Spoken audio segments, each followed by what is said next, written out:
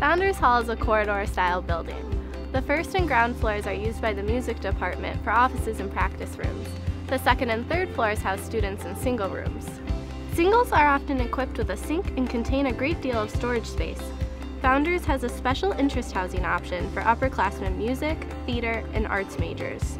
Founders is home to creativity and art. There is even a recording studio on the first floor where bands rehearse. If you're lucky, you might hear the makings of a new hit song.